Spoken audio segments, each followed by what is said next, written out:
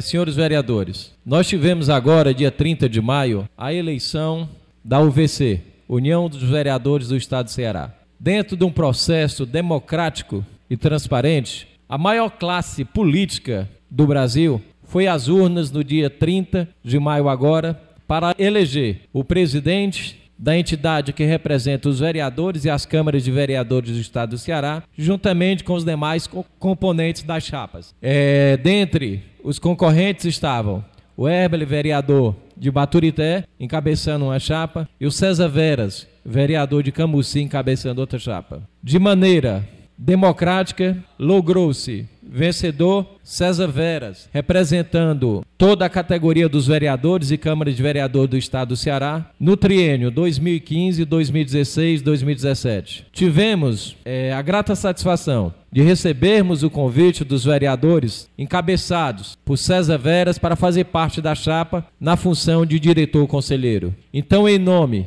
de César Veras e de todos que fazem a chapa de vereadores que logrou êxito e foi vitoriosa, eu gostaria de agradecer a todos os vereadores do estado do Ceará que participaram desse processo democrático, que se deslocaram e foram até as urnas depositar o seu voto para mostrar que é de maneira democrática que a democracia deve então se consolidar. Agradecer em especial a todos aqueles que confiaram a nós, que cabeçamos a chapa majoritária à frente do César Veras e que pode ter certeza que estamos todos nós comprometidos em bem representar os vereadores do estado do Ceará. Ontem mesmo estive despachando com o presidente da entidade em Fortaleza e César Veras realmente está imbuído e disposto a fazer um excelente trabalho diante da entidade. Estará diariamente à frente daquela instituição, trabalhando pelo crescimento desta, volto a dizer, a maior classe política do estado do Ceará. E em nome de César Veras, eu quero agradecer a todos os vereadores de Ipu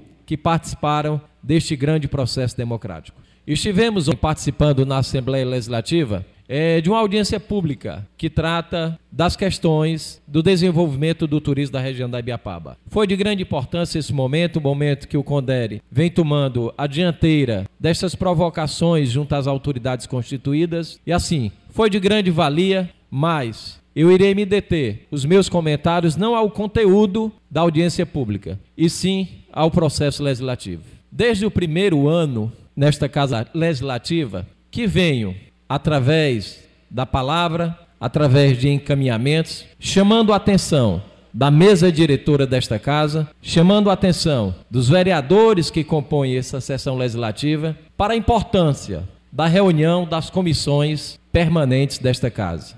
O que nós tivemos em Fortaleza foi exatamente o que o vereador Adriano Melo vem pedindo que aconteça na Câmara Municipal de Ipu, que reúnam-se as comissões para receber as demandas da sociedade, os anseios, os pleitos, poder discutir aquelas matérias que são pertinentes a cada comissão. É assim que funciona o processo legislativo. Todos sabem que é função do, da Casa Legislativa fiscalizar e legislar, mas é também função da Casa Legislativa manter as comissões atuantes. Para isso, nós temos quatro comissões nesta casa. Quatro comissões que poderiam está dando uma maior contribuição a todo o processo político e democrático no município de Ipu. Se essas comissões estivessem efetivamente fazendo o seu papel como manda o regimento interno desta casa. É função das comissões receberem audiências públicas para tratar e discutir dos problemas, dos reclames, opinar, dar os devidos encaminhamentos, discutir com a sociedade.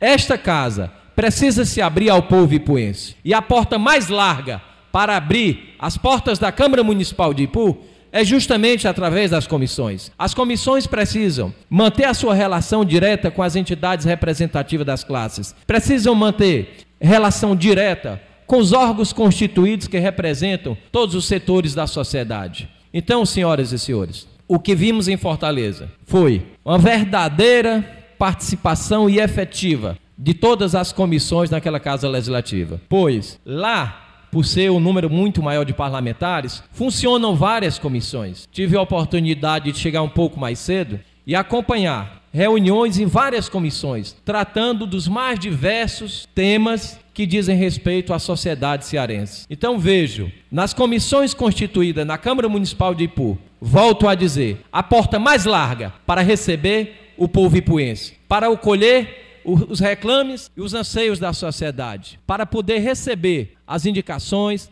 e as ideias da sociedade civil organizada. Senhor presidente, em nome de toda a população ipuense, em nome da Comissão de Desenvolvimento Urbano, Econômico e Meio Ambiente, é que eu venho pedir, já que é prerrogativa da mesa diretora, que, através de projeto de resolução, designe as datas de funcionamento das comissões permanentes. Com essa decisão, nós estaremos dando uma grande contribuição a toda gestão que esteja à frente de maneira democrática para bem zelar pelo patrimônio do nosso município, que é o nosso povo.